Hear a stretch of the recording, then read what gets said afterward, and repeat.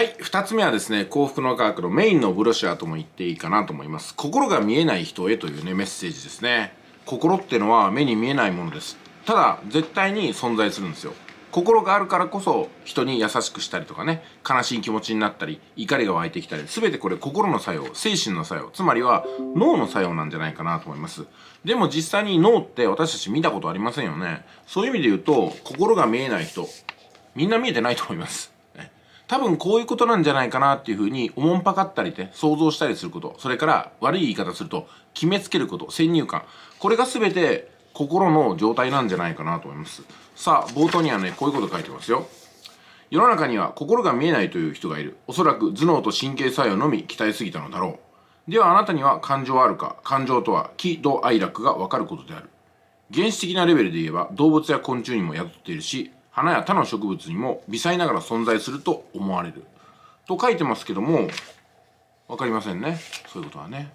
あなたの喜びの感情はどこから込み上げてきますか？あなたの怒りの感情はどこから出てきますか？あなたの悲しみは本当に脳の考えた結果ですか？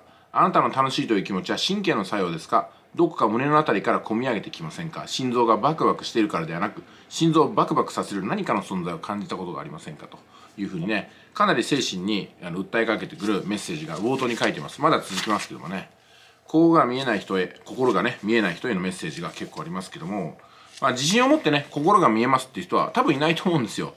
そもそも人が何を考えてるかなんて分かりませんからね。で、自分がどんな感情なのかすら扱いかねているのが私たちの姿じゃないかなと思うんですよ。そういうふうな不確定要素の多い人間の姿っていうのが、おそらく人の誤解を生んだりとかね、感動を呼んだりとか、様々なドラマを作ってるんだと思います。え今回もね、心が見えない人へというところ、冒頭ちょっと読んだだけだったんですけども、この動画を作ってみました。